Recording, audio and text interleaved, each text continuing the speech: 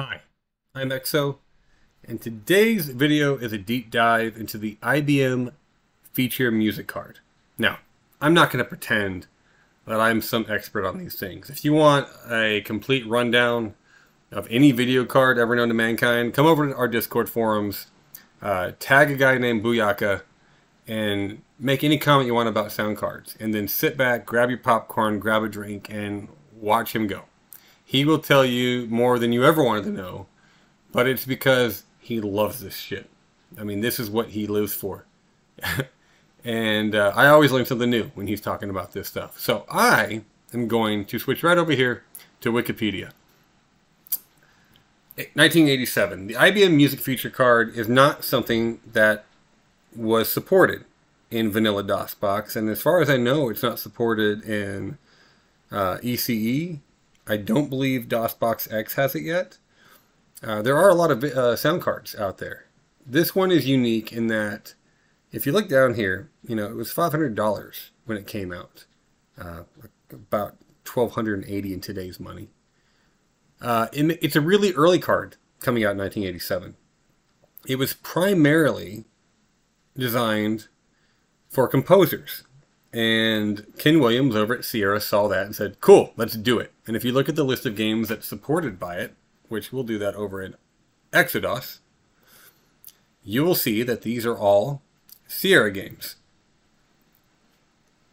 So we have 16 of them currently. Uh, all 16 are set up and ready to go. Let's go ahead, and I turned off menu music for this video so that we wouldn't have the Launchbox menu competing with us here. We're going to fire up Conquest of Camelot.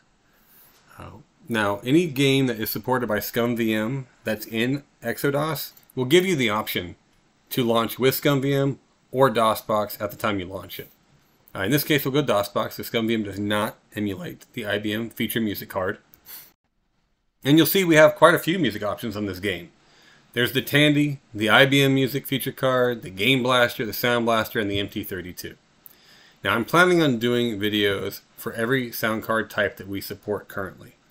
Uh, to talk about the differences between them, to talk about how they sounded. But the cheat sheet is to, from top down, is oldest to newest, generally. Uh, now you'll find that the Gravis Ultrasound, which is not listed on for this game, did come out after the MT32, but generally, the MT32 is considered superior. So from top to bottom, it's generally a capability. Um, so the Tandy is a, is a three uh, three voice sound chip, and then you get the IBM music feature card, which we're about to listen to.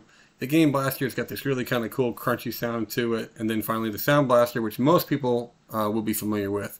And if you buy a game on Good Old Games, or, or that's an older game, or on Steam, you're going to get the Sound Blaster version. Now, we'll start out here with the Sound Blaster so that you have a baseline. And here comes the game.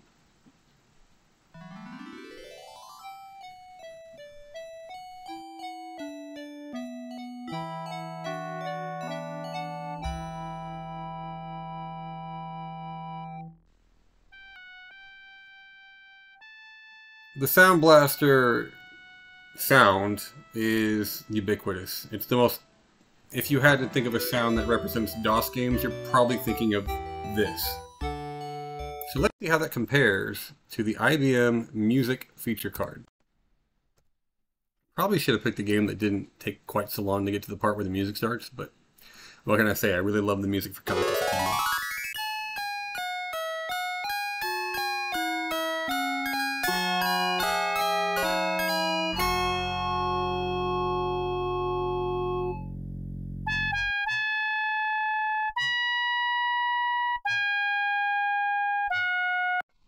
Now I can't tell you which one is objectively better. That's going to be up to you.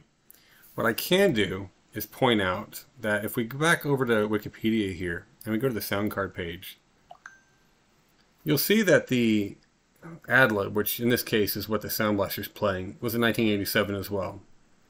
The IBM Music feature card is not even listed on this page because it was not well known enough to be listed on this page. So these two sounds came out around the same time. They're pretty different.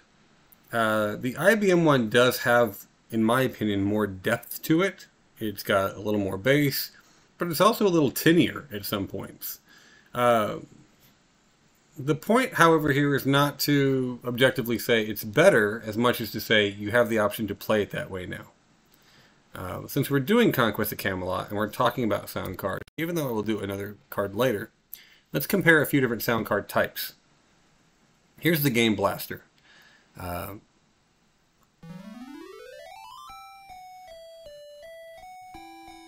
this one has a lot more of the synthetic or synthesized tone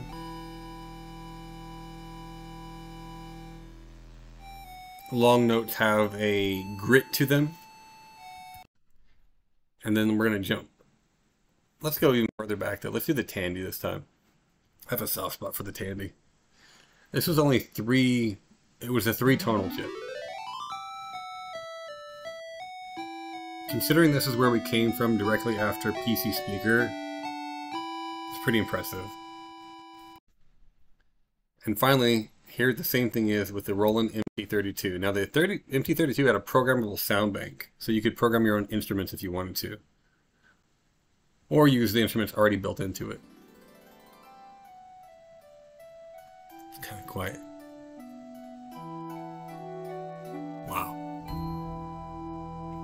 Almost a whole different soundtrack.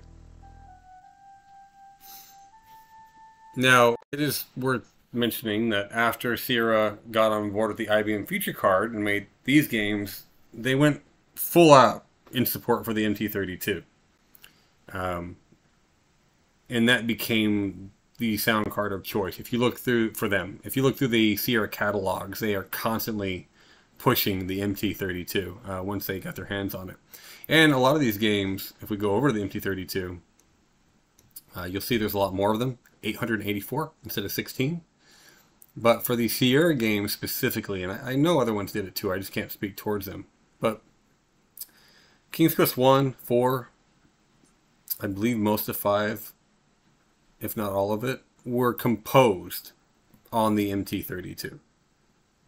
Uh, 6 was not. 6 was actually made using more General MIDI uh, software. But the, so that was, if you play those games with the MT32, you're hearing them the way that they had meant them to be. That's not this video. this video is the IBM feature card, and Staging just added support for this. Uh, it literally showed up on my bug reports this week thanks to Python. He took the time to go through, figure out how to set it up in the conf file, the configuration file, get them to work. He edited all the run.bat files to create the options, changed the configuration files to make sure that they had everything needed, and uh, identified it all for me. Uh, which is really appreciated and uh, a huge benefit and a boon to all of us that are using the pack.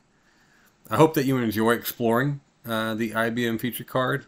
Next time, we will talk about one of the other sound cards. Thank you.